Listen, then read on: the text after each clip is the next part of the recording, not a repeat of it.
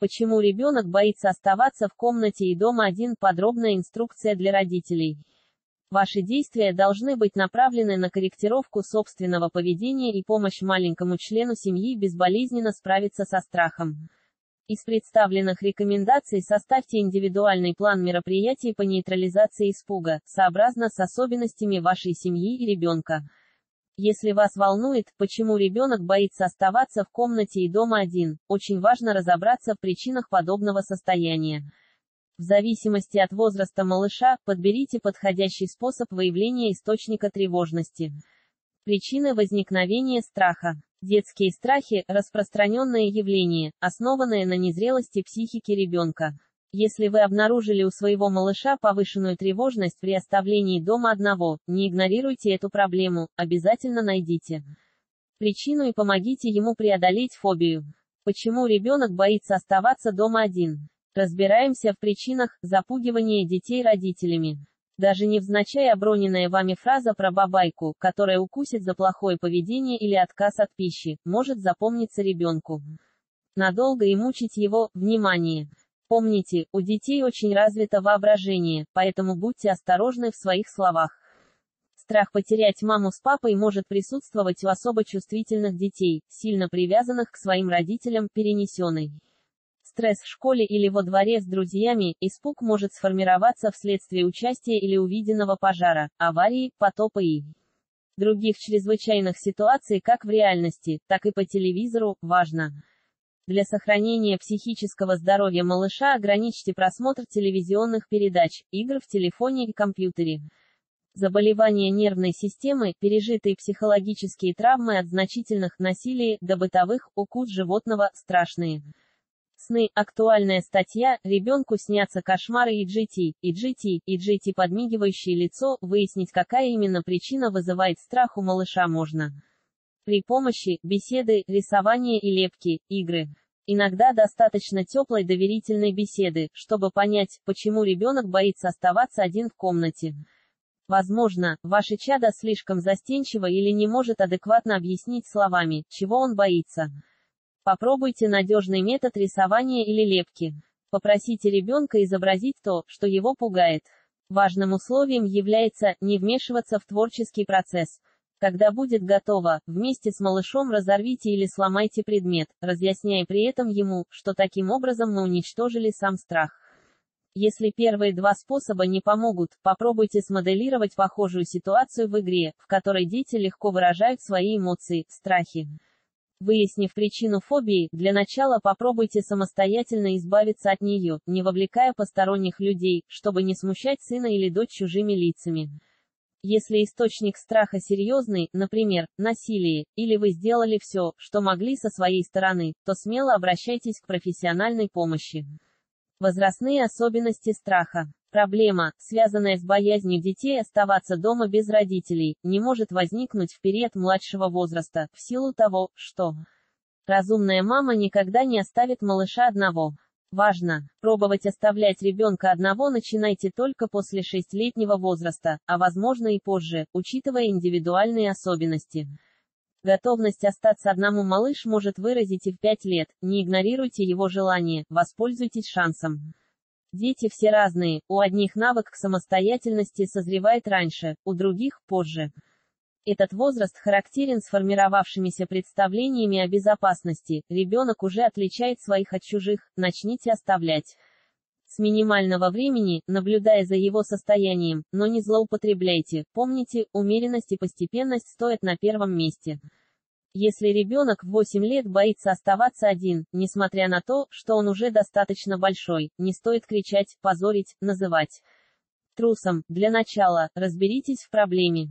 Таком возрасте дети уже самостоятельны и любой страх должен насторожить вас. Предложите ему завести питомца, за которого малыш будет нести ответственность. Забота о животных поможет малышу переключиться со своих проблем на нужды более беззащитного существа и не заметить вашего временного отсутствия. Ребенок будет воспринимать себя более взрослым, раз ему доверили жизнь и здоровье маленького друга. Если это не поможет, попробуйте рекомендации, изложенные дальше. Советы психолога «Как справиться». С детским страхом любого возраста относитесь со всем вниманием и серьезностью. Не закрывайте глаза на проблему, не считайте ее капризом, а обязательно побеседуйте с малышом, пытаясь выяснить причину тревожности. Возможно, проговорив свое затруднение, ваш ребенок уже преодолеет часть своего испуга. Убедите его, что непременно поможете справиться с возникшей сложностью. Если ваш ребенок боится оставаться один, что делать в такой ситуации? Для начала попробуйте оставлять на 15-20 минут, постепенно прибавляя время, обязательно расскажите малышу, куда и зачем вы уходите. Когда вернетесь, а также о возможных задержках. Обговорите время звонка и тактику его поведения при условии опоздания родителей, дайте ребенку интересное задание на время вашего отсутствия, почитать любимую книгу, поиграть во что-то увлекательное, не обсуждайте страхи малыша в его присутствии с близкими и знакомыми, обеспечьте ребенка телефоном, научив его пользоваться им. Это поможет всегда поддерживать связь, и чадо не будет ощущать себя покинутым. Возвращаясь домой, прихватите для малыша маленький подарок или сладость, так у ребенка появится уверенность, что его помнят и любят. Перед тем, как уходить, непременно проведите инструктаж, и не один раз. По правилам поведения, дверь никому не открывать, спичками не играть, научите пользоваться бытовой техникой, газом, электричеством. Объясните, как действовать в случае пожара, потопа, стуков в дверь, снабдите телефонами экстренных служб, расскажите, как справляться замками, домофоном, чтобы он сам мог закрыться или открыться в случае необходимости, оградите от просмотра криминала, боевиков, федеральных новостей. Неокрепшая чувствительная психика детей очень страдает от обилия ужасов, транслируемых по телевидению, не оставляйте малыша. Темное время суток, а еще хуже, на ночь.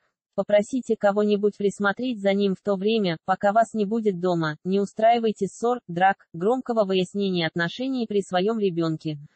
Это только усугубит его состояние. При страхе смерти важно объяснить ребенку, что и в этом случае жизнь человеческая продолжается, только в другом виде.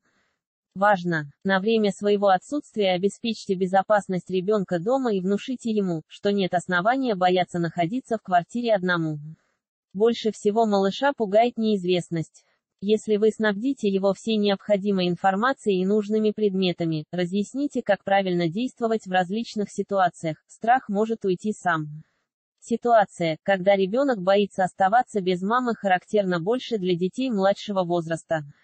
Примерно с трех лет нормально развитый малыш вполне способен находиться некоторое время без родителей. Если вы заметили патологическую привязанность чада к маме, причем доходящую до абсурда, не дает выйти в другую комнату или туалет. Здесь возможны две причины сложившегося положения. Мама слишком тревожна за малыша, не доверяет его близким людям, внутренне. Считает, что другие хуже заботятся о его нуждах. Ребенок реагирует на подобное состояние матери и прилепляется к ней еще больше, особенности склада психики маленького человечка чрезвычайно подвержены привязанности к матери дети-меланхолики, с ранимой и возбудимой нервной организацией, читайте статью «Воспитание». Ребенка-меланхолика и GT, и GT, и GT подмигивающее лицо. Дети с другим типом темперамента тоже могут бояться потерять маму из вида. В этом случае, скорее всего, в малыша не вложили базовое чувство доверия к миру и окружающим.